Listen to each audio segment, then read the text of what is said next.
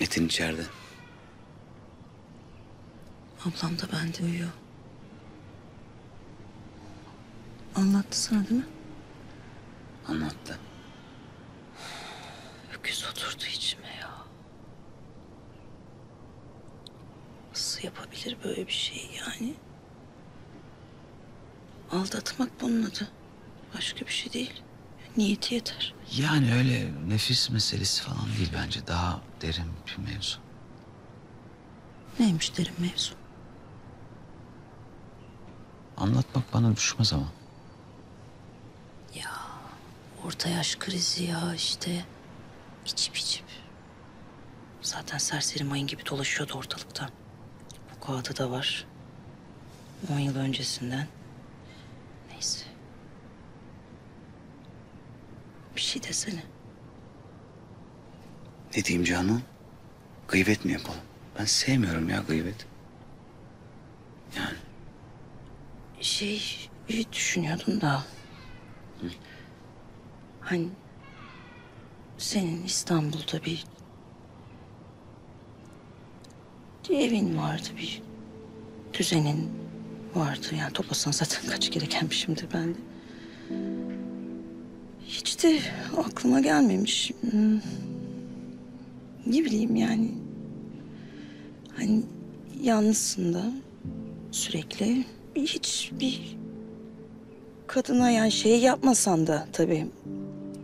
Ne bileyim öyle anlık bir aklına gelmiş midir yani? sen ne yapıyorsun sen? Boşadığın kocanın ağzından laf mı almaya çalışıyorsun? Hayır diyemiyorsun yani. Hayır diyorum Canan. Benim böyle bir şey yapmaya vaktim mi vardı ya bunlarla uğraşmaya? Demek ki sen aklından kafandan geçirmişsin ki Benim aklımdan ne geçmiş ya? Saçma sapan konuşma Allah aşkına ya. Ay. Genelde erkekler yapar zaten böyle şeyleri. ben yapmam. Tamam ya ben yatıyorum. İyi geceler. Hiç de aklından geçmedi mi yani? Hani geçmiş gitmiş şey sonuçta. Söyleyebilirsin bana yani.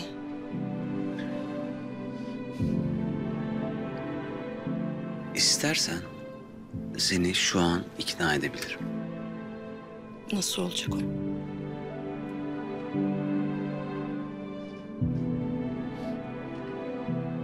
Gel buraya gel.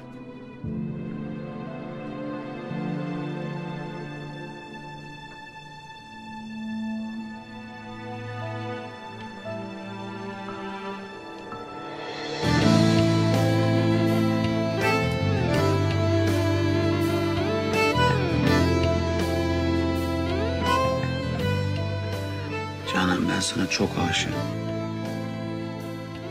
Ve ben seni hala ilk günkü gibi öpüyorum. Sana aşık olmaktan bir saniye bile vazgeçmedim ben. Böyleyken başka bir nasıl bakayım ya?